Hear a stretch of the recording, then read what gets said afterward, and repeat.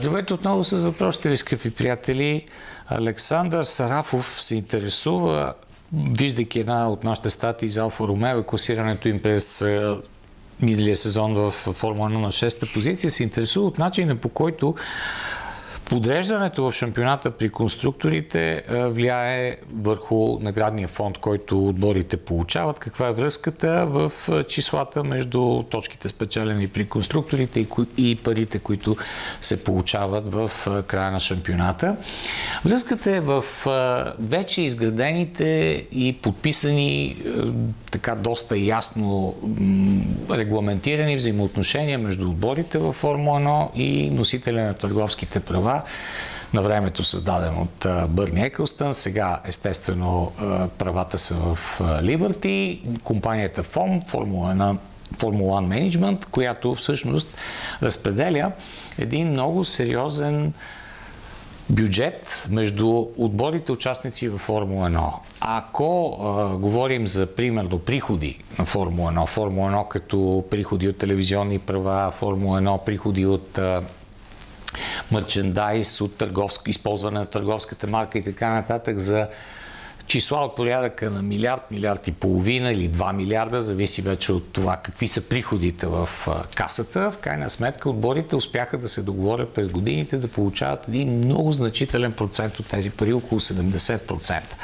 Сега, тези 70%, ако примерно приходите са били 1 милиард за предходната година, говорим за около 700 милиона, които се разпределят между 10 отбора. 10 отбора спрямо класирането им в шампионата при конструкторите. Шампиона взима най-много, последния също взима една значителна сума пари. И вече всяка една позиция в класирането при конструкторите ти носи значително по-голяма сума от онази, която ти би получил, ако си стъпка по-назад. Говорим за разлики от 15 на милиона. Зависи, пак казвам, от общия приход, който Формула 1 има за предходната година. Затова не може да се каже с абсолютна точност каква е разликата между това да се класираш 5 или 6 или 6 или 7. Тя може да е 7 милиона, може да е 15 милиона. Нали? Зависи от това какво ще генерира формулата като, като приходи. Но е много важно ти да си стъпка напред пред съперника, защото тези пари ти влизат в бюджета, който ти има за следващата година, който нали, пак е регламентира 140 милиона, но ти търсиш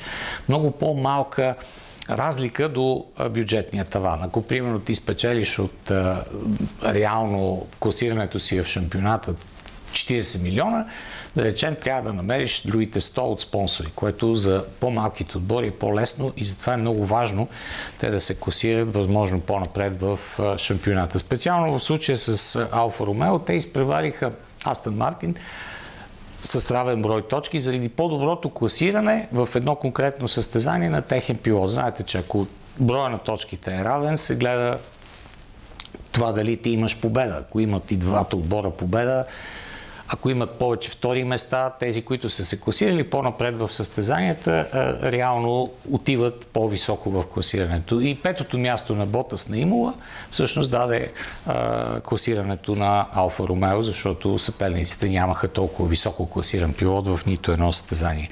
Така че много е важно, особено за отбори като Залбър Алфа Ромео, да бъдат по-напред в класирането, тъй като парите са много големи. Плюс тези пари, за които говорим, нали, като дял дял от общите приходи на Формула 1, вече се получават сега едни договорени нови пари за това, че ти си участвал в спринтовите състезания.